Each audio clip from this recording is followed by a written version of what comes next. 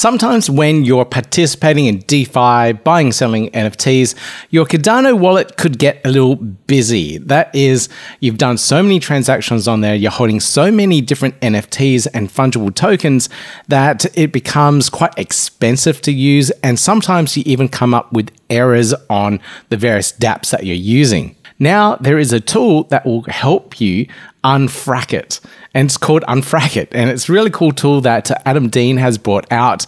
Uh, there's a couple of tweets about this, and you can find it on his uh, Twitter account, Adam K. Dean. Uh, but it's a brilliant little tool that will allow you to clean up your wallet, uh, combine various UTXOs or parts of your wallet together so that way you can have cheaper transactions and less possible errors when interacting with all these dApps on Cardano. So let me take you through exactly how this all works. So if you go to the website Unfrack It, so unfrack.it, you'll be able to find the application itself. All you need to do is connect your wallet. In this case, I'll connect my NAMI wallet and it'll allow you to change a whole bunch of configurations on the dApp so that you can clean up your wallet in multiple different ways. Now, some of these default settings are pretty good from what I've experienced so far. So I'm going to keep the bundle size here to 30 and then uh, change a couple of these based on what and how you're using your wallet. So here, first one here, isolate fungible tokens. So fungible tokens relate to tokens that you might be trading on Cardano, such as Hosky or World Mobile Token, for example.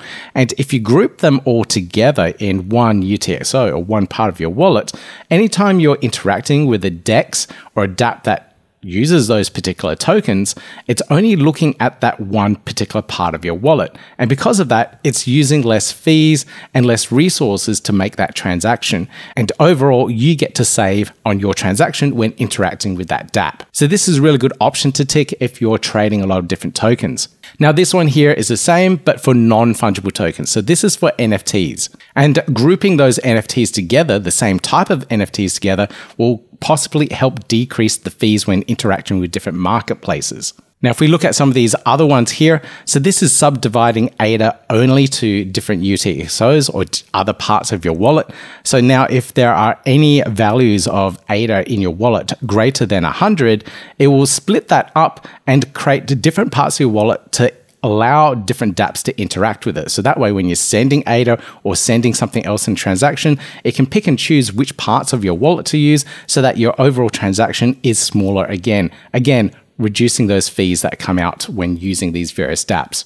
And this option here, the last one, roll up, this is the opposite to that. So it will combine all the ADA that's left over into your various UTXOs and rebalances out your wallets. So at the moment, I'm experimenting with all these different options and I'm going to go down a little bit further here. And this is where you can actually check what's in your wallet and how it all operates. So at the moment, I've connected my wallet and I can see here that I've got uh, my just under 600 ADA, four token policies with 20 tokens uh, overall.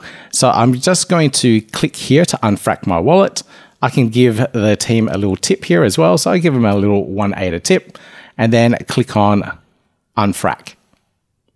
So then I just sign the transaction and I'll let that go. So that's all I need to do to unfrack my wallet. I can watch the confirmations come here and I can check my wallet again to see how many UTXOs or how many parts of my wallet have been created or has that been decreased to help optimize my wallet in general. So it's a great little tool brought out by Adam and the DripDropz team here, where you can now save a little bit of extra ADA in all of those various transactions that you make by optimizing that wallet. Now, the really cool thing about this is that it is a completely decentralized dApp.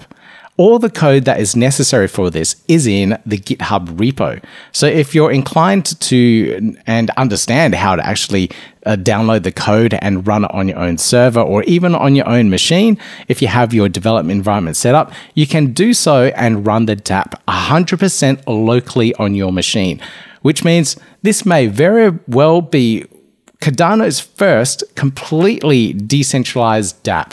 That is a really cool little milestone. All the other dApps out there, such as MinSwap or whatever, you do need to run it with their front end interface, which means you have to go to their website. I'm not saying it's a bad thing. So with dApps like this, it is completely decentralized and anyone can use it wherever they want, however they want.